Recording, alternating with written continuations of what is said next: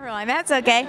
So our season one winner. How does it feel back to be here at season ten? Any advice for the 12 finalists? You know, yeah, it's so weird. You say season 10, and I'm like, man, I can't believe that it was like, I mean, it was, I mean, it's five years ago, 10, you know, nine seasons ago, I was, I was in this very position. It's so, um, so weird, but it, it feels, it feels great to be back. You, you know, it's weird walking in the building. You just, you get like these nerves, like, like, uh, you know, like you're gonna Flashbacks. yeah, flashbacks, like you're gonna be like competing for your life again or something, you know. But it's, it's, uh, it's great to be back. I mean, as far as the contestants, you know, you know, I wish them the best. I, I know what it feels like. I know you know, the position that they're in and the stress that they're under.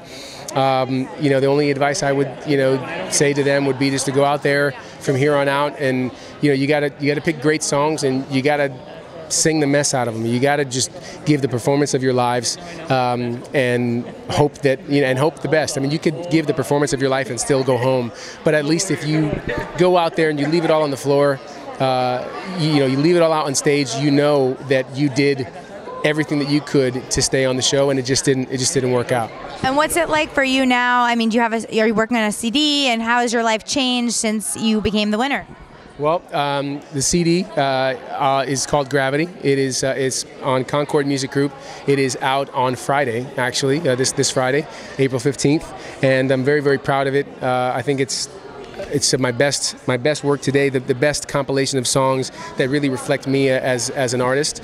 Um, the single is called Gravity as well. Um, tells the story of a guy in a relationship that that loses the best thing that he's ever had, and he's trying to find uh, a way to uh, to fix things and, and win her back. I'm gonna play that for a few men I know. Oh, do it, do it. It's actually the the video was directed by Gregory Poppin. It's out now. It tells uh, the story in reverse. So it starts with the breakup, and you kind of go backwards to see how he got himself into into this position. But um, uh, I, I love it, and I'm very excited about it. And the tour, I, we do a Gravity tour that starts April 23rd, and we go all around the country.